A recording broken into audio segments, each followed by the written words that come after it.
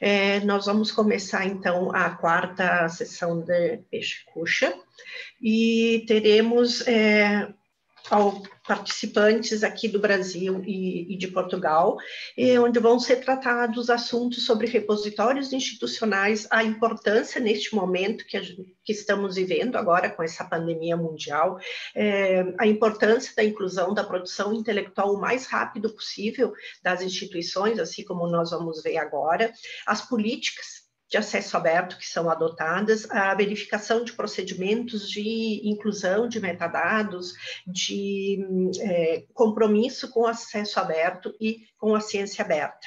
Tá? Então, eu vou dar a palavra, palavra para o primeiro, é, a primeira apresentação. É, as perguntas, quem tiver perguntas pode fazer pelo chat, eu vou ficar controlando, as perguntas vão ser no final, e cada apresentador tem sete minutos e quando estiver faltando dois minutos, eu vou é, só avisar o apresentador, vou abrir o microfone e avisar o apresentador. Tudo certo? Todo mundo me ouvindo bem? Então, nós vamos começar com a apresentação da Cecília Ramos, os repositórios institucionais e a produção científica em universidades portuguesas, o panorama atual. Tá? Cecília, quando quiseres. Então, boa tarde. Vou tentar iniciar então com a apresentação, com a partilha.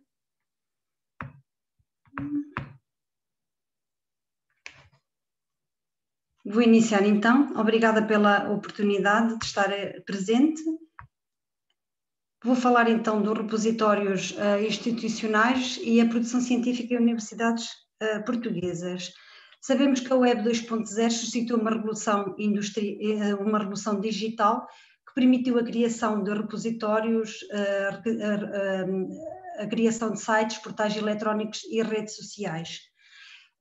Essa digitalidade eh, eh, permitiu-nos uma travessia dos oceanos no domínio do conhecimento pelas redes sociais, pelos, pelos sites e até pelos museus virtuais, que Martins apelidou de circunnavegação tecnológica.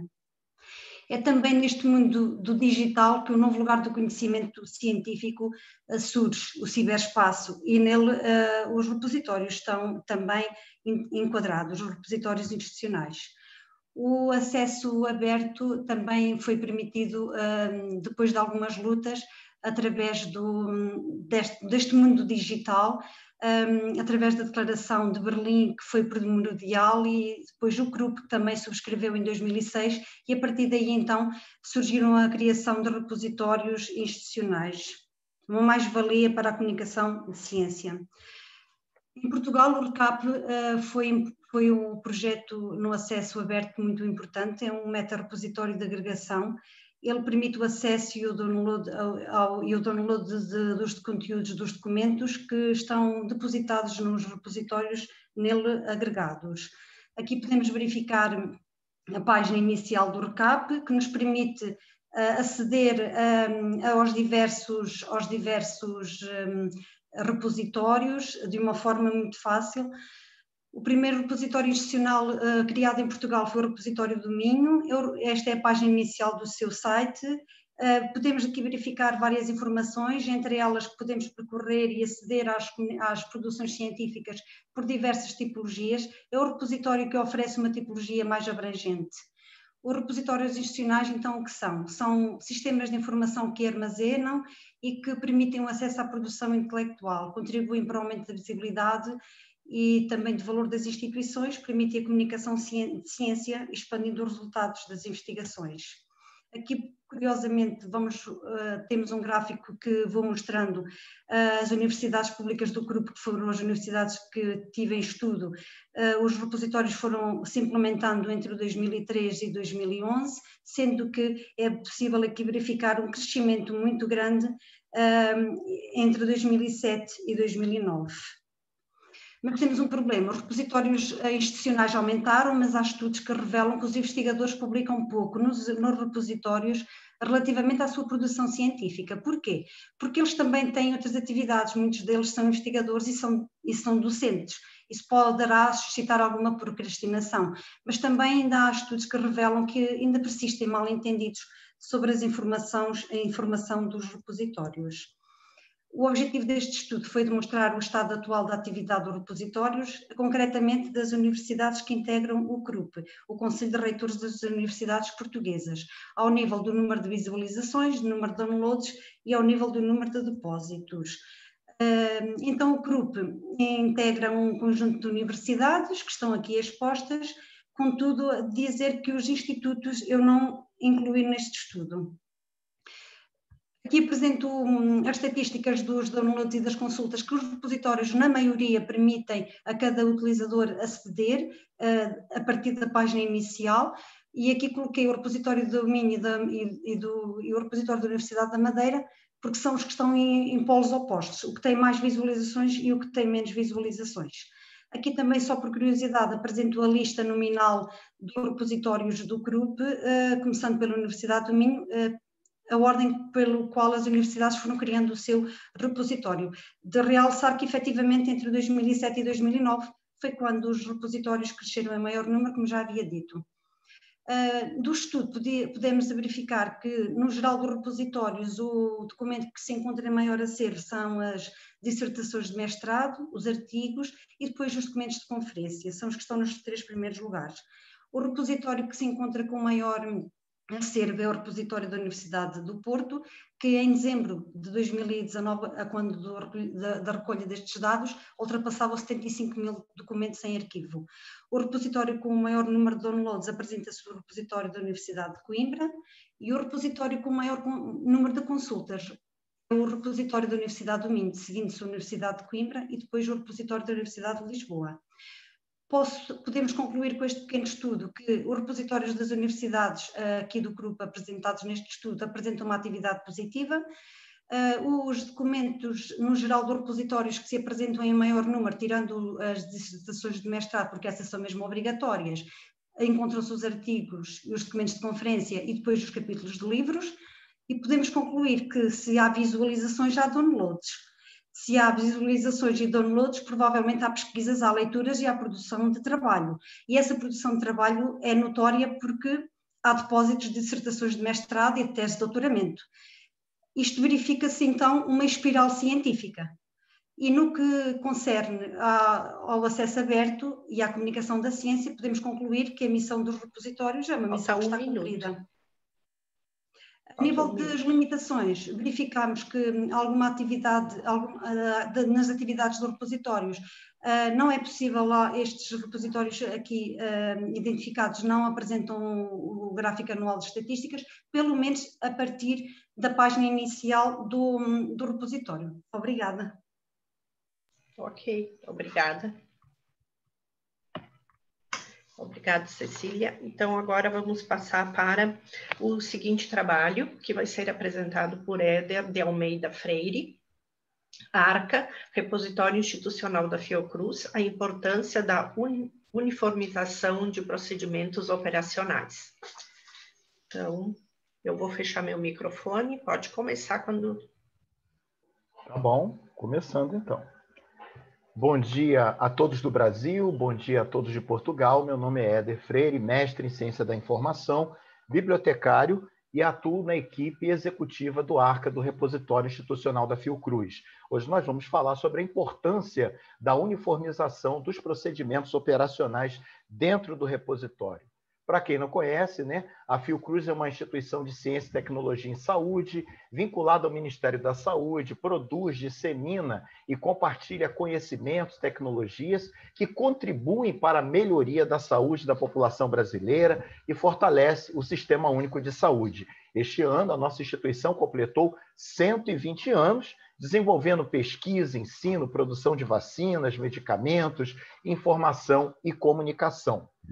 Dentro desse contexto de informação e comunicação, insere-se o repositório institucional da Fiocruz, chamado de ARCA, que foi institucionalizado em 2011 e é administrado pelo ICICT, o Instituto de Comunicação e Informação Científica e Tecnológica em Saúde.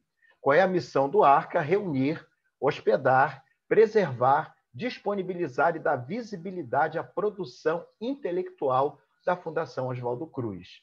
Nesse contexto, nós temos aí um panorama geral, O ARCA ele é organizado em 28 comunidades, 59 subcomunidades e 25 coleções, totalizando mais de 40 mil objetos digitais disponibilizados através do DaySpace, que é a plataforma mais conhecida pela comunidade científica para gestão de repositórios digitais. A gestão do conhecimento na Fiocruz, ela se dá através do ARCA, né, que é esse importante instrumento de gerenciamento de informação.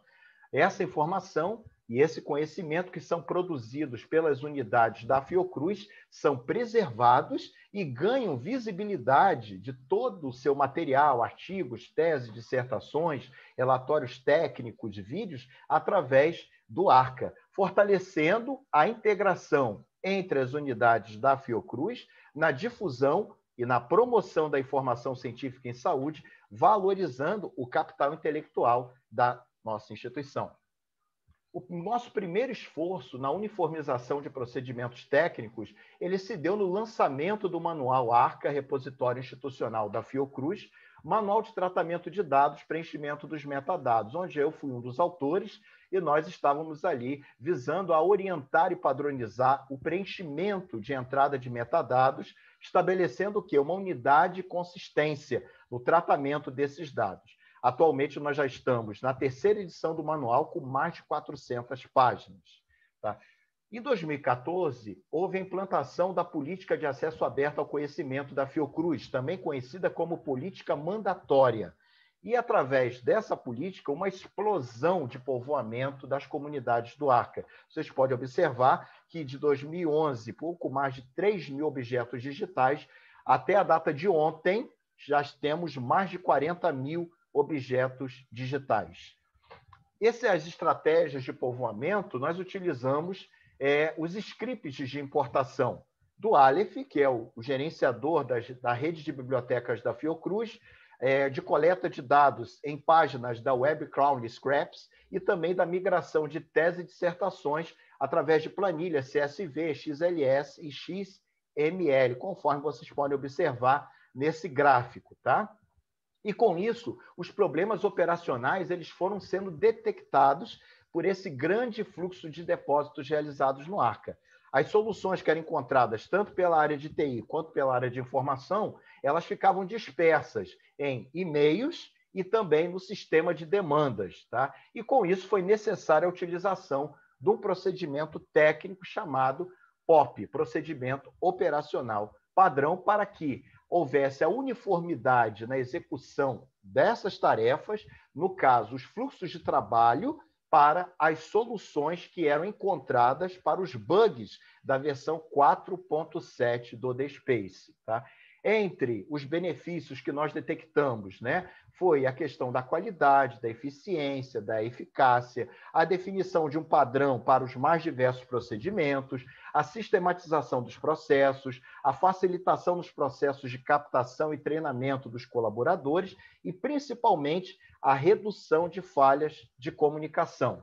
O nosso primeiro POP foi esse, o erro interno do sistema no campo de CDate Issued, na versão 4.7, onde os nossos usuários, os gestores de comunidades e coleções, preenchiam, não preenchiam, Faltam né? Faltam dois é, minutos. O campo de data, e aí o sistema colocava today nesse campo, ocasionando o erro interno.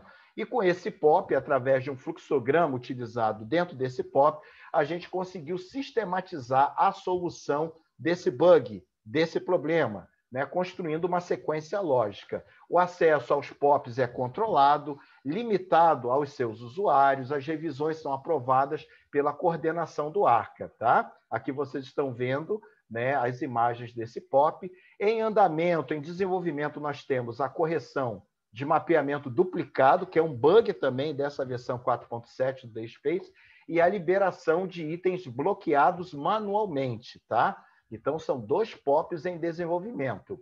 E a gente conclui dizendo que a criação dos POPs e a utilização deles por meio de treinamento são essenciais para garantir a qualidade, a uniformidade de todos os processos envolvidos, visando promover uma gestão consistente do ARCA quanto à resolução de problemas conhecidos na versão 4.7 do DaySpace e por conta da pandemia, né, os, os esforços, eu acho que de todas as instituições é, públicas internacionais foram voltados à divulgação e disponibilização de materiais científicos né, sobre a Covid, e a gente cita aí o ARCA e as BVS da Fiocruz, e por isso o trabalho de novos POPs ele foi deixado para uma nova etapa.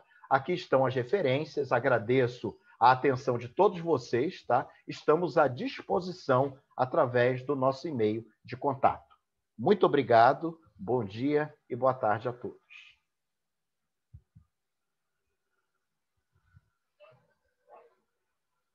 Você está com o som fechado, Caterina? Sim, Catarina tem ligação. Obrigada, Éder. Obrigada.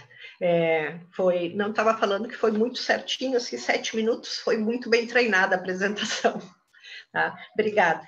É, agora, então, quem vai apresentar é a Luciana Daniele de Araújo, a importância dos repositórios institucionais em períodos de pandemia, a inserção da produção científica sobre a Covid-19 no ARCA. Tá? Então, um completando o outro aqui, as apresentações. Quando quiseres, é, Luciana, podes começar. Compartilhar a tela e começar. Bom dia a todas e todos. É, eu vou tentar aqui, deixa eu me organizar, porque eu fiquei um bom tempo para entrar na sala que eu não conseguia, estava dando algum problema que eu não estava conseguindo entrar. Mas deixa eu me organizar aqui rapidinho.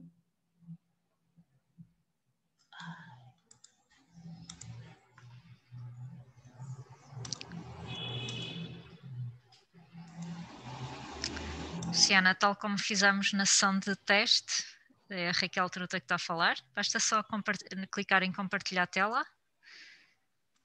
É, eu estou procurando aqui que ela não está aparecendo para mim. Minimize se calhar a janela, talvez seja mais fácil para localizar. É. É, já minimizei todas, eu só estou com, com, a tela do. Passo o rato no fundo da janela para lhe ativar as opções, então.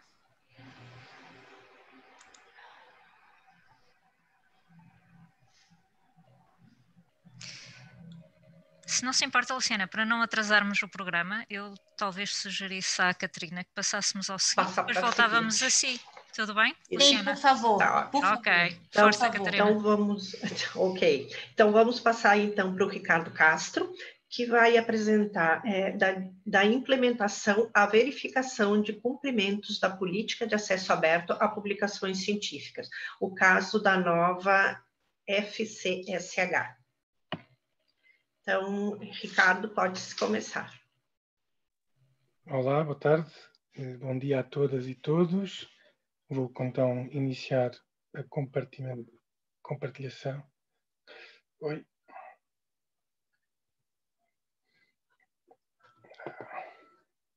Não sei se já estão a ver, espero que sim. Já, agora sim, já começou. Então, boa tarde, agradeço aos organizadores da Confua a oportunidade de apresentar esta comunicação intitulada da implementação à verificação do cumprimento da política de acesso aberto a publicações científicas, o caso da, no, da nova FCSH, da autoria da Cátia Carvalho, Cátia Marques e eu próprio, Ricardo Castro. Em 2020, após a conclusão de um longo período de avaliação, iniciou-se um novo ciclo de financiamento das unidades de investigação em Portugal. Quando chegou a minuta do contrato de financiamento plurianual, enviado pela FCT, verificou-se que havia uma cláusula nova que tornava obrigatória a implementação da política de acesso aberto. O dever de cumprir a política não era novo, mas esta alteração introduziu uma novidade.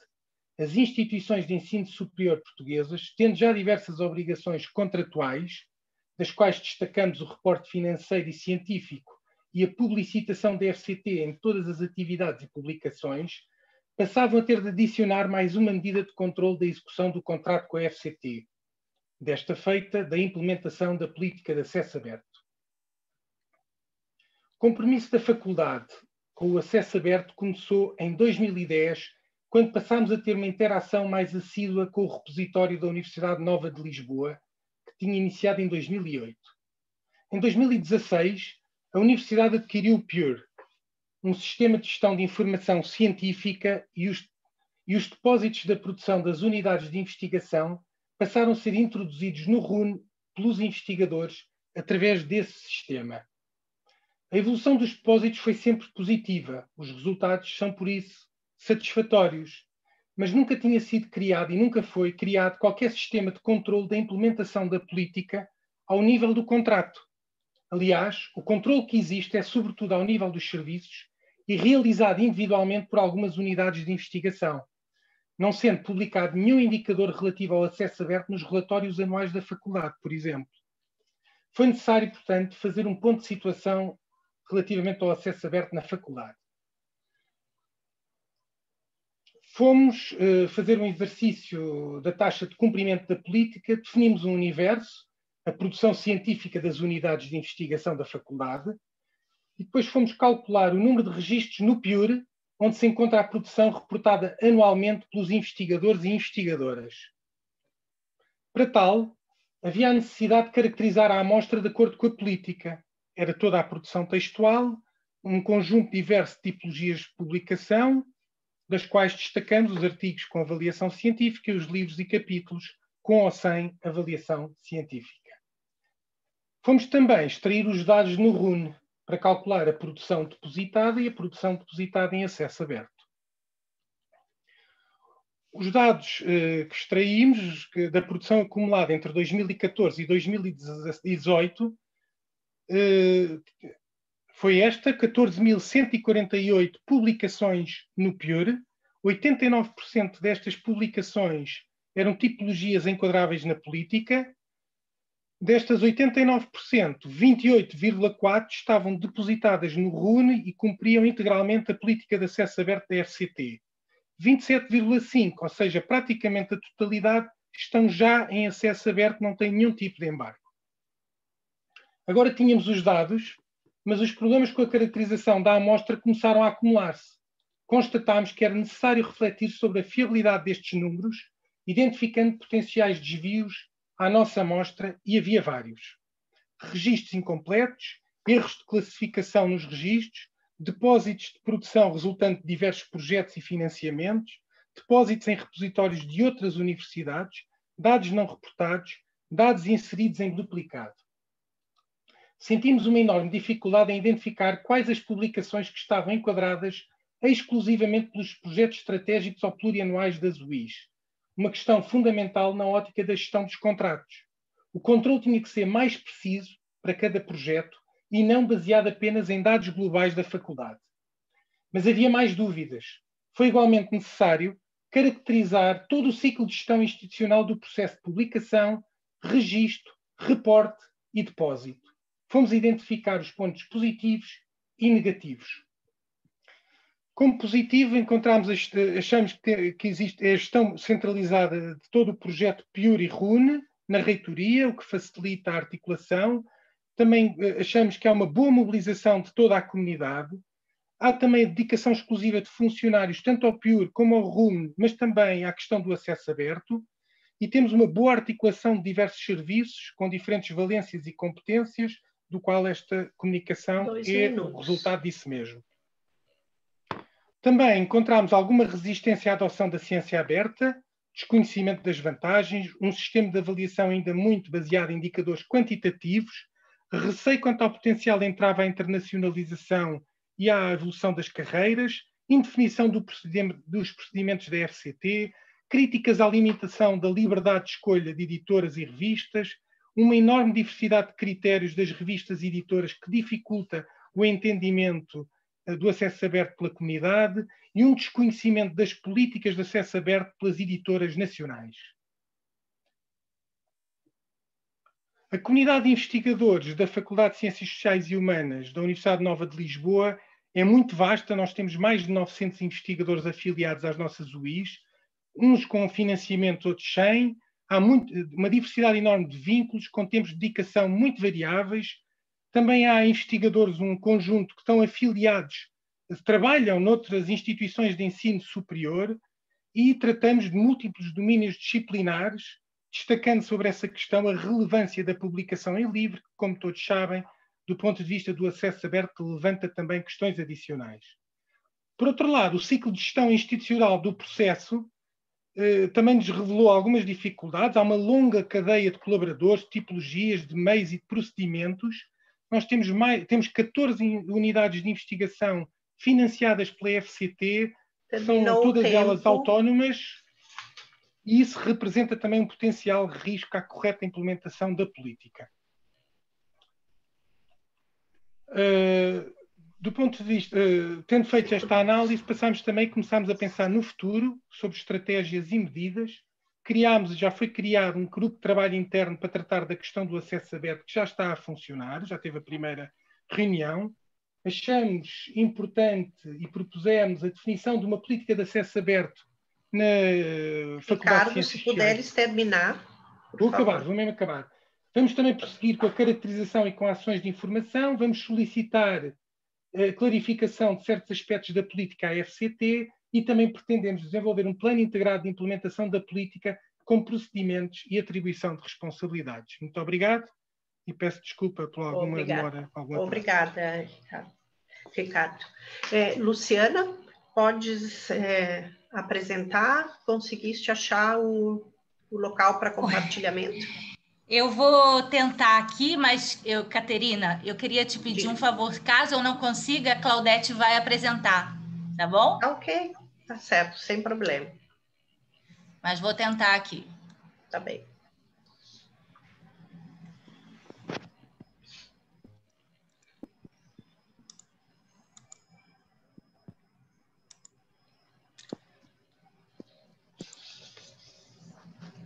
Acho que agora ah, Agora sim. Só colocar em apresentação para ficar com a tela é. cheia. Ótimo. Conseguiu? Sim, sim. Já seguida vai. Deixa eu voltar lá, porque eu estava fazendo todo. Eu estava tentando fazer todos os testes possíveis aqui e. Mas vamos lá.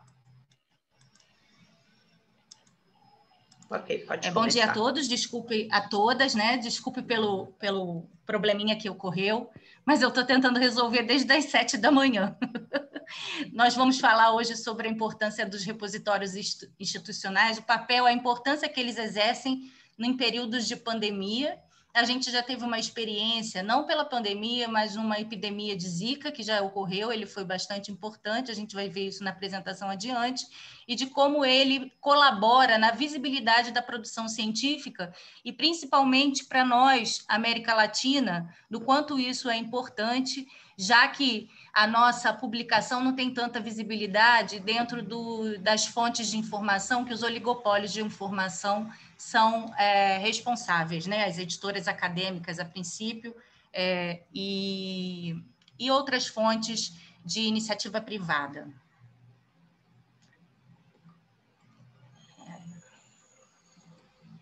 A Fiocruz, esse ano, ela comemora 120 anos, né? Essa é a missão da Fiocruz, produzir, disseminar e compartilhar conhecimentos e tecnologias voltados para o fortalecimento do nosso sistema único de saúde, que é um sistema universal, e que contribui para a promoção da saúde e a qualidade de vida da população brasileira, tentando reduzir, num aspecto integral e equânime, o que é bastante complexo por conta desse tamanho desse país, as desigualdades sociais e as dinâmicas de inovação, é, sempre pensando na defesa do direito à saúde e cidadania como valores centrais é, para a sociedade brasileira.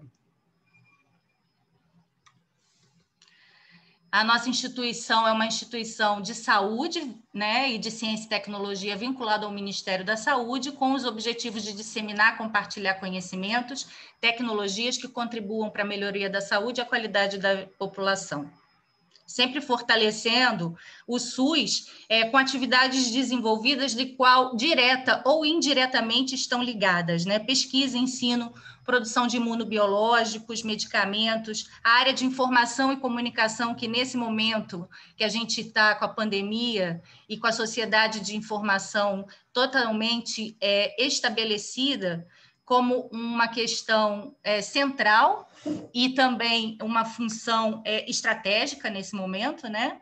Assistência como os hospitais e os serviços de vigilância e referência, ou seja, a informação e a comunicação ela se tornou um serviço essencial.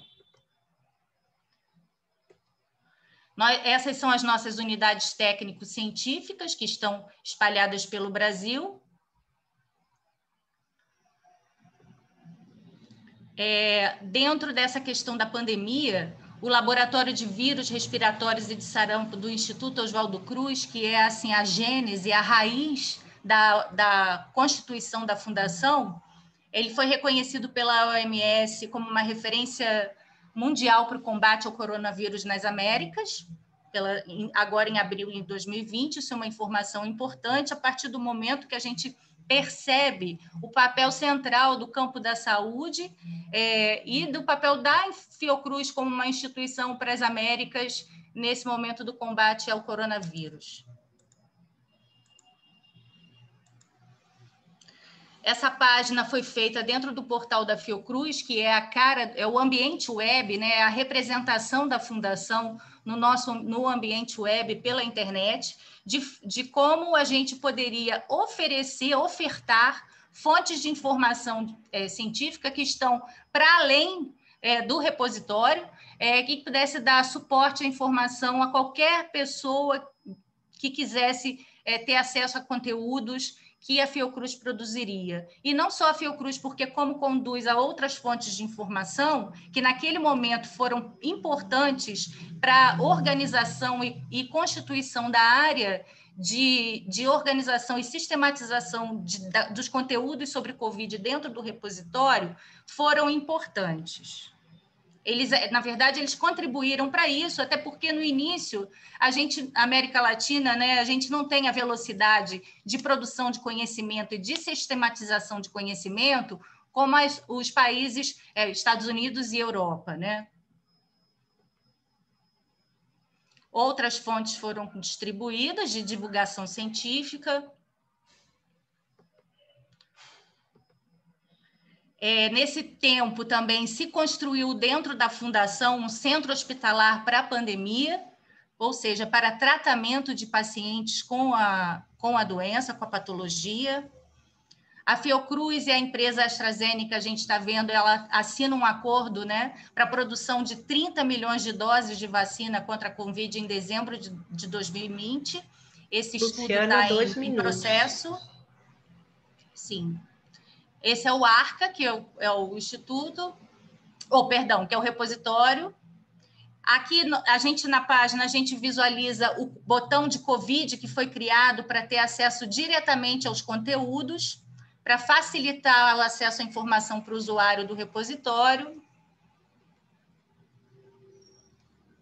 Vou ser mais breve, né? E assim, eu acho que eu já falei bastante, né? O, os repositórios eles têm um papel central nesse momento de informações. A produção intelectual da Fiocruz foi toda depositada, está sendo, porque é um processo contínuo, ele não acaba, para oferecer acesso a esses conteúdos de forma mais rápida. É, houve um esforço enorme da rede de profissionais de informação para poder proporcionar esse depósito já que nesse momento talvez os profissionais de informação não, não pudessem fazer o autodepósito tão rápido, o autoarquivamento tão rápido. Mas eles também já fizeram isso e isso tem um trabalho. Só que aí houve uma força-tarefa dos profissionais de informação para poder é, agilizar a sistematização da informação. Vou passar rápido aqui essa contextualização, porque eu já falei bastante. Né? A gente você é bem mais rápida aqui, Caterina. É... É, falta menos de Uma... um minuto. Tá, eu só queria é, destacar que dentro dos metadados e do registro do, do ARCA, né, da, da, documentação que está sendo sistematizada, o papel que os, os indicadores altimétricos oferecem nesse momento para a visibilidade dos conteúdos e principalmente para essa produção de Covid, porque ele, ela está percorrendo, ela está sistematizada ali dentro, está sendo organizada dentro do repositório, mas ela está facilitando o alcance dessa informação em outros canais de comunicação, e a gente vê isso representado no, no, nos dados que o Altmetrics oferece. Assim que puderes terminar, Luciana, por tá favor. Bom, tá certo. Essa é uma, uma nuvem de tags do que está sendo pesquisado mais no, no dentro do repositório nesse momento. Total de depósitos, o número de tipologias que foram colocados, a gente vê que tem um número grande de relatórios técnicos, artigos e pré-prints, isso é uma coisa interessante. Essas são as instituições que, a, que, que convergem na produção conjunta com a Fiocruz, são várias instituições no mundo e no Brasil, na América Latina também. E a gente reafirma o papel do depósito, do quanto é importante depositar nos repositórios institucionais. Ok? Seria isso. Obrigada. Obrigada, obrigada, Luciana.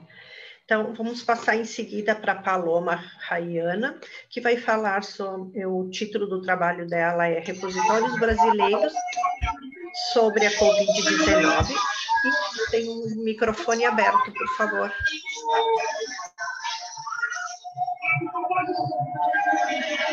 Alguém pode dar uma olhada no seu microfone? Alô? É, Oi, boa, é que tem, bom dia. tem um barulho. Só um minutinho, Paloma, que tem um barulho que tá, está atrapalhando. Tá ok.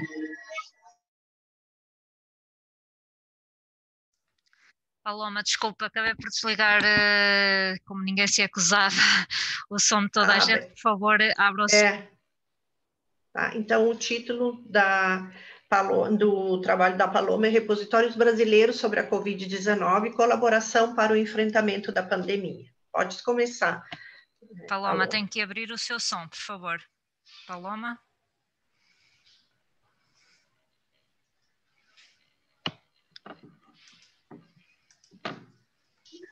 Agora sim. Agora sim? Pronto. Pronto. É, boa tarde, bom dia novamente. Meu nome é Paloma Rayana, sou bibliotecária formada pela Universidade Federal de Pernambuco e venho trazendo a pesquisa Repositórios Brasileiros é, sobre a Covid, colaboração para o enfrentamento dessa pandemia. Comigo que eu não estou conseguindo. Ah, foi. Então, diante da pandemia, né, que, foi, é, que surgiu foi surgido diversas iniciativas científicas acadêmicas institucionais de forma mais ampla para poder se divulgar informações sobre, sobre essa, essa pandemia. Então, é, o objetivo da pesquisa é realizar, foi realizar um mapeamento desses repositórios no país,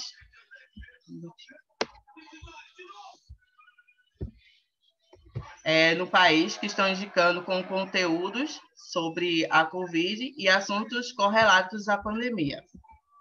A nossa metodologia que foi utilizada foi procedimento metodológico, foi a nossa revisão bibliográfica, levantamento exaustivo na internet, uma análise nesses websites desses repositórios, é, a elaboração de um questionário para os responsáveis dos repositórios. O universo e a amostra foram analisados 64 IES e centros de pesquisa da área de saúde e, e repositórios. Observou-se a existência de 20 instituições que tenham conteúdo é, sobre a pandemia. E dessas 20 instituições que nós é, enviamos o questionário, nós tivemos uma, um retorno de 50%. As 10 instituições é, responderam ao nosso questionário. Das 10 instituições, sete foram universidades federais, duas universidades estaduais e um centro de pesquisa. Nós também dividimos sobre, é, sobre as regiões, que deu 40% no Sudeste, 30% no Nordeste, 20% no Centro-Oeste e 10% no Sul. E apenas uma instituição não tem um profissional bibliotecário à frente do repositório.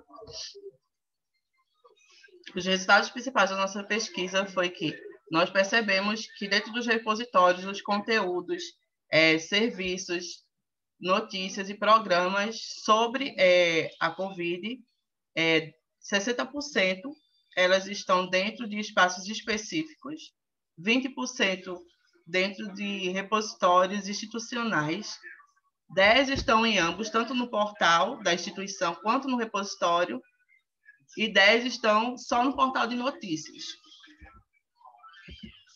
esse tal gráfico da nossa, da nossa análise dessa questão. Aqui está. Essa questão foi especificamente sobre a produção científica, onde ela está sendo armazenada, a produção científica dentro da instituição. Então, 50% afirmou que é no repositório institucional, é, 10% especifica que é num repositório temático específico para é, esse tema que foi criado, e 20% está em um espaço dentro do, do repositório institucional, pouco aleatório. É,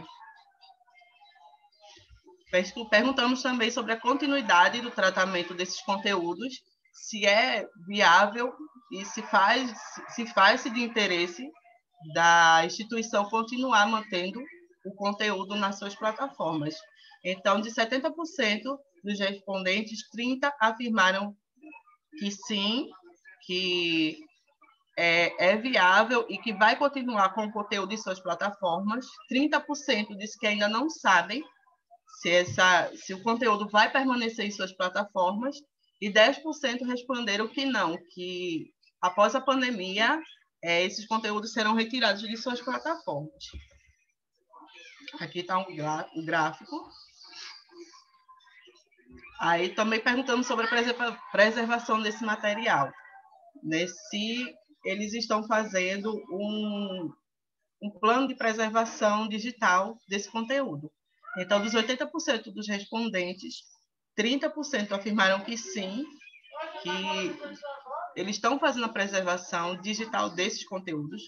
40% afirmaram que não, é, não está previsto o plano e 10% indicam que não está previsto, que não vai fazer nenhum plano de preservação digital desse conteúdo. Aqui está o gráfico. Perguntamos sobre o estágio desse plano de, de, de proteção dos dados, né? de preservação.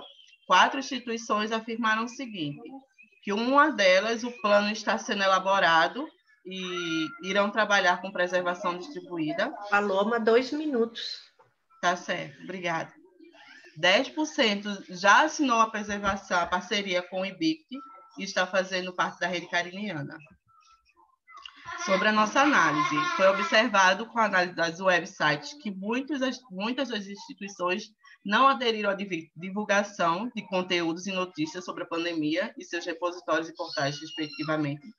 A respeito da análise dos questionários, percebe-se que o número de instituições que tratam da é, de publicações e pesquisas sobre a Covid é uma, uma porcentagem muito pequena em relação ao número de repositórios existentes no país Algumas instituições estão iniciando ações, mas ainda não sabem ao certo como proceder com a preservação digital, mas outras também ainda não. O futuro, e com isso o futuro acaba se, é, acaba se tornando incerto, pois ainda não há muitas instituições interessadas pela permanência desses conteúdos em suas plataformas. Nossas considerações. Foi importante conhecer as instituições que estão registrando os conteúdos sobre a pandemia para apoiar os autores desse contexto. É, Destaca-se é, que divulgar as iniciativas existentes para colaborar com o enfrentamento da pandemia por meio da comunicação científica também traz visibilidade para os repositórios. E, por último, acredita-se que essa pesquisa possa instigar instituições que ainda não estão realizando esse registro de conteúdos para ampliar, difundir e preservar o conhecimento produzido. Aqui estão nossas referências e agradeço a participação. Obrigada, Paloma. Foi bem certinho no, no tempo. Bom, obrigada. Uhum. É, agora, então, vamos passar para a Alessa Fabiola dos Santos Seslinski, é, que com o título da apresentação Projeto de Depuração de Metadados de, do Repositório Institucional da Produção Científica da Marinha do Brasil. Tá? Então, é, Alessa, quando quiseres começar. Bom dia. Pode colocar em modo de apresentação? Ok, obrigada. Descendo? Sim. Então, bom dia a todos, eu sou a Alessa, sou bibliotecária, doutoranda em Ciência da Informação pelo IBICT UFRJ, e hoje, em nome da Cássia, Lenise e Jéssica, eu vou apresentar o projeto de depuração de metadados do Repositório Institucional da Produção Científica da Marinha do Brasil, o RMB. Bom, o RMB é o portal que reúne a produção científica desenvolvida por militares e servidores civis da instituição. Ele é composto por artigos de periódicos, artigos apresentados em eventos, teses, dissertações e trabalhos de conclusão de curso. É, utiliza o software de Space e atualmente estamos na versão 5.4 em processo de migração para uma nova versão. É, ele é organizado em subcomunidades são 22 subcomunidades baseadas nas 22 grandes áreas de conhecimento da instituição, que são as áreas onde são produzidas as pesquisas e estudos dentro da Marinha do Brasil. E dentro de cada subcomunidade é, existem as coleções por tipo de documento. É, o repositório ele foi desenvolvido com base numa política institucional então, ele, é, ele prevê o depósito compulsório por parte dos autores que realizam cursos dentro e fora da Marinha. Ele também foi desenvolvido é, com base numa cartilha institucional que prevê os procedimentos de depósito tanto para os autores quanto para os bibliotecários que trabalham no repositório. E, além disso, ele também conta com uma licença de armazenamento e uma licença Creative Commons. Um breve histórico. Em 2014, a produção científica digital da Marinha ela começou a ser inserida no software Pergamo, que é o gerenciador de acervos bibliográficos utilizado pela Rede de Bibliotecas Integradas da Marinha, a Rede BIM. Em 2016, visando cumprir os objetivos de reunir, armazenar, organizar, preservar, recuperar e divulgar a produção científica da instituição, iniciou-se o projeto do repositório, é, esse projeto ele foi desenvolvido a partir de um povoamento inicial, com a migração de 2.214 documentos do Pérgamo para o Space, e ele foi lançado em outubro de 2018. É, a, essa decisão de aproveitar a produção científica que já se encontrava no Pérgamo, ela teve como propósito a economia de recursos e a otimização do trabalho dos bibliotecários da Rede BIM, tornando possível a criação do repositório com mais eficiência. A partir da migração inicial, foram constatadas algumas discrepâncias. Na prática, muitos desafios foram enfrentados para aproveitamento dos dados migrados do Pergamo, pois este utiliza o formato MARC21 para catalogação e o DSpace utiliza o formato Dublin Core. É, de acordo com Alves e Souza, cada padrão possui diferentes formas de especificação dos metadados, utilizando linguagens diferentes de representação. Então, assim foram produzidos metadados inconsistentes e documentos duplicados, que apresentavam o padrão de descrição MARC 21, porém eram visualizados em formato Dublin Core. Como a migração não, sucedeu a contento, então foi iniciado o projeto de depuração de metadados do repositório, cujos objetivos foram analisar os metadados com inconsistências descritivas, verificar a ausência de preenchimento de metadados essenciais, padronizar e normalizar a descrição e criar uma estrutura de metadados para o repositório, vislumbrando a melhoria da qualidade dos dados no repositório e a interoperabilidade com outros sistemas.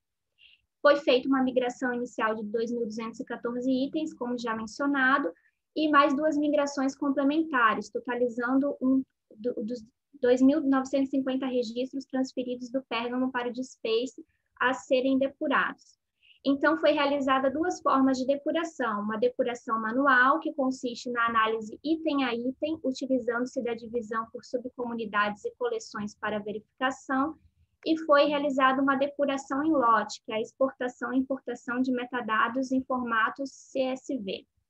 Então, aqui foram algumas discrepâncias que foram, é, foram visualizadas, as principais inconsistências de metadados, por exemplo, o título junto com o autor e orientador, que é um padrão MARC, orientador junto com a palavra orientador, é, editor junto com o local, são tudo padrões MARC, porém visualizados em Dublin Core.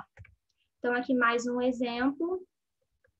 Outro exemplo, nesse caso, o resumo em português e inglês que vieram juntos no mesmo campo de descrição e cortados, mais um erro que veio do Pérgamo, com os resumos cortados.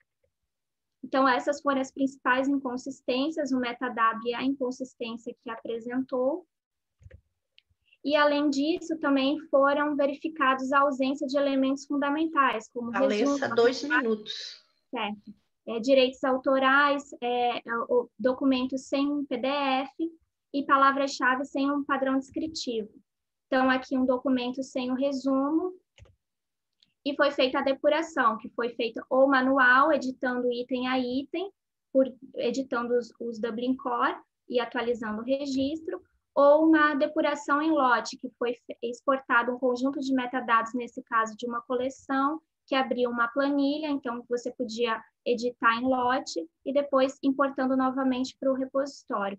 E além dessas dificuldades, também foram é, percebidas duas dificuldades técnicas: problemas na migração é, junto ao pérgamo do OAI-PMH para coleta automática, então a gente precisava fazer de tempos em tempos uma coleta manual, porque não funcionava automático, e interrupção da inclusão do objeto digital no pérgamo, então não era mais possível colocar o PDF. E assim se tornou inviável a inclusão da produção científica por este sistema, suscitando a necessidade premente da inclusão diretamente no Space pela facilidade e veracidade dos dados. Então, a partir de de é, setembro de 2019, um ano após o lançamento, decidiu-se pela inclusão direta dos registros no DSpace, a fim de melhorar o padrão dos metadados. Desde então, não houve mais obstáculos descritivos e técnicos. Sua adoção pela rede de bibliotecas da Marinha tem ocorrido plenamente após a realização de treinamentos para padronização dos metadados, visando aumentar a qualidade do sistema no acesso à informação, o projeto de depuração dos 2.950 registros migrados do Pergamon para o Space deve ser concluído em dezembro de 2020. E atualmente o nosso repositório conta com 3.415 documentos. É isso, agradeço a todos pela atenção. Essa é a equipe do repositório e o nosso contato. Muito obrigada. Muito obrigada, Alessa. Obrigada por cumprir o tempo. Agora, então, vamos passar para a Madalena Carvalho, é, com o título do trabalho, O Repositório e o Compromisso da Universidade Aberta com os Objetivos do Desenvolvimento Sustentável. Quando quiseres começar.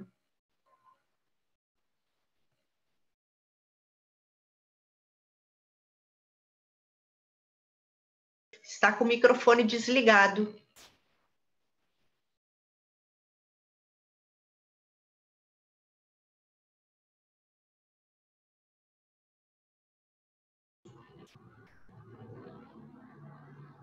É o microfone que está desligado, a apresentação estava ok. Já está, peço desculpa. Ah, tranquilo sem problema. Ora então, eu estava a dizer, uh, cumprimentar, bom dia, boa tarde a todos.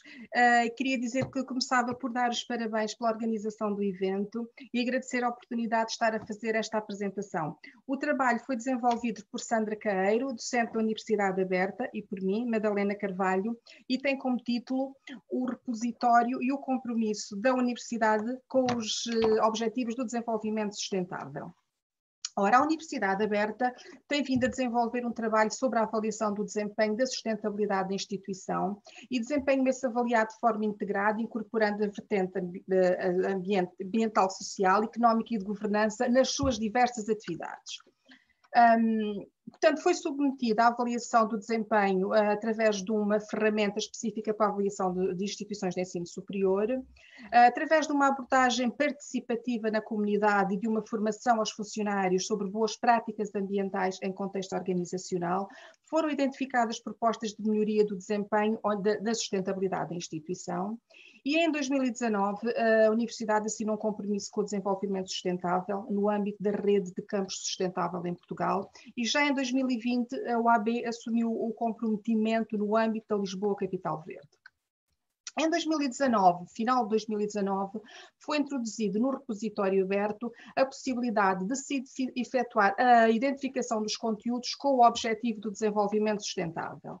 Portanto, os autores têm a possibilidade de, quando fazem o depósito em autoarquivo, efetuar um, a identificação da sua produção e os serviços de documentação efetuam a identificação de toda a produção académica, da produção institucional e dos recursos educacionais abertos. O objetivo deste trabalho é perspectivar a relevância do repositório como ferramenta passível de monitorizar a forma como a instituição corresponde aos compromissos da Agenda 2030, nomeadamente identificar os ODS sobre os quais a produção académica e científica e a investigação incidem, avaliar a existência de padrões entre as diferentes tipologias de produção, o grau de aceitação e de motivação dos autores, as áreas em que a universidade pode apostar na sua oferta, oferta formativa e até no desenvolvimento de investigação, e analisar em que medida esta abordagem se pode consubstanciar como um dos indicadores relevantes para a avaliação do, de, do desempenho da, da sustentabilidade em toda a instituição. Deste modo, foi feita uma análise quantitativa, global e segmentada dos ODS do repositório, a análise dos ODS representados na produção académica, produção institucional e recursos educacionais abertos, considerados como as três grandes tipologias de conteúdos do repositório, e a análise dos depósitos efetuados de janeiro a junho de 2020 nas comunidades uh, científicas, portanto, os depósitos efetuados pelos autores de sua livre e espontânea vontade.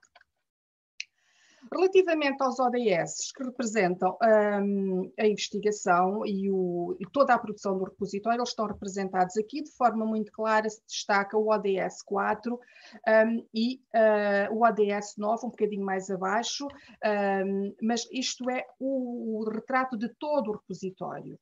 Mas se formos ver pelas tipologias de produção, e pretendíamos perceber também isso, verificamos de acordo com, as, com estas áreas, um, e este gráfico representa a totalidade de conteúdos do repositório, e aqui destaca-se desde logo a, a, produção académica e o REIA, porque os serviços de documentação fizeram a recuperação de todos os conteúdos de, depositados nesta, nesta área, de acordo com o desenvolvimento sustentável, e as áreas científicas só têm conteúdos a partir de, 2000, de 2020. Portanto, de, com esta tipo, com os, relativamente aos conteúdos com ADS, vemos que uh, o padrão se mantém, portanto, uh, este padrão se mantém. Ressalta só aqui relativamente ao ODS 9 e relativamente à produção institucional, que há uma grande produção nesta área. Isto tem a ver com a produção editorial da universidade e a, e a editorial e o magazine e o magazine AB. Para vermos o grau de aceitação dos autores face à referenciação do ODS, temos aqui assim os conteúdos depositados então de janeiro a julho de 2020, em que Sim, vemos dois que minutos, Madalena. Se mantém, se mantém o padrão. Uh, o auto-arquivo vemos que, que, que, há disparidade entre, entre as comunidades e o número de, de depósitos, portanto não há uma uniformidade. Também daqui tiramos ilações e, portanto, percebemos que, em, percebemos que houve de facto uma adesão uh, dos autores, mais de 50% uh, concordaram e disponibilizaram voluntariamente a sua produção, mas há comunidades onde o autorreporte é muito baixo, por isso é importante reforçar a comunicação uh, e, a, e, a, formação dos autores. Comparamos a nossa atividade com os indicadores que, para o país fornecidos pelo sistema, pelo, pelo INE, Instituto Nacional de Estatística, e aqui percebemos que a UAP pode contribuir para para melhorar a investigação nos diferentes ODS, em particular na sustentabilidade ambiental, onde tem muita formação na área, e relacioná-los com a indústria, inovação e infraestruturas, onde se evidencia uma forte contribuição científica. No ODS 4, Portugal tem níveis de formação ao longo da vida muito baixos e a UAB pode aí contribuir, porque reforçando a sua oferta de formação em ALV. Considerações finais. Destaca-se logo a relevância do repositório como sistema de apoio à gestão. O reporte dos ODS da produção pode ser adotado como indicador para a efetuar perdão, a avaliação do desempenho da sustentabilidade da instituição, numa das suas componentes fundamentais, a investigação e o ensino. As publicações incidem sobre estes dois, dois ODS, o que evidencia o seu alinhamento, portanto, o alinhamento da produção com a principal área de atuação da universidade. O trabalho permite, sim, avaliar a forma como a instituição está a dar resposta aos compromissos da Agenda 2030. Agradecemos muito a vossa disponibilidade e a vossa atenção. Boa tarde. Obrigada, Madalena. Uma boa tarde. É, agora passamos em seguida, então, para a Paula Regina, que o, vai apresentar o trabalho intitulado Políticas de Autoarquivamento e Repositórios Institucionais Brasileiros, estudo analítico do mercado do, mer, é, do metadado assunto. Podes começar.